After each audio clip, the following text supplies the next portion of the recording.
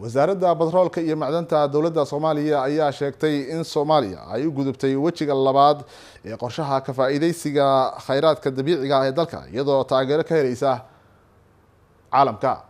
Waryaheena cabdirashiid nuur ibraahim ayaa inoo faahfaahinaya warkaasi.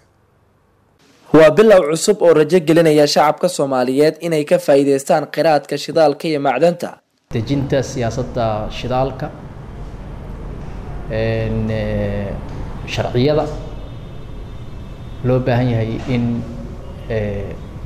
looga faa-ideysto kheyraadka wadaagii lagu heshiiyey dhowaan.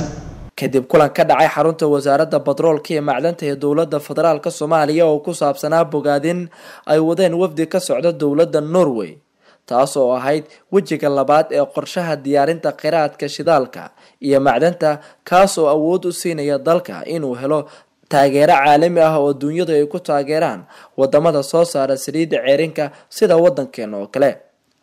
Madaxda wasaaradda oo dhammaan kulankan goobjoog ka ahaa ayaa kaga mahad celiyay dowladda norway bogaadinta iyo taageeradu ay u muujisay dalka soomaaliya.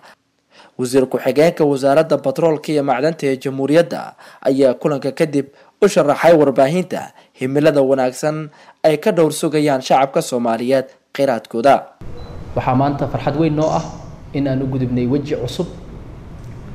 Awal wejigii hore ku jirnay waxaa la yihahdaa wejiga mapping face hadda waxaan galnay planning face oo ah weji aada iyo aada muhiim noogu ah.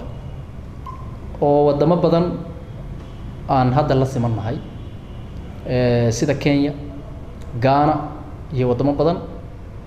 Xuquuq fara badan oo adduunka ay ka heli jireen aan oola siman nahay qoladii u horreysay ee maanta noo timid waxaa waaye norwegianka waxay noogu hambaliyeeyeen wejiga cusub shaqada dardargelinteeda oo aan ku jirno ay noogu hambaliyeeyeen horaantii bishii juun ayay ahayd shirkii ka dhacay magaalada baydhabo ee golaha amniga qaranka ay kaga heshiiyeen qaybsiga kheyraadka dalka taas oo weji cusub u furay sidii looga faa-iideysan lahaa fursadaha maalgashi ee dalka iyo kheyraadka dalka hanaanka looga faa-iideysan lahaa.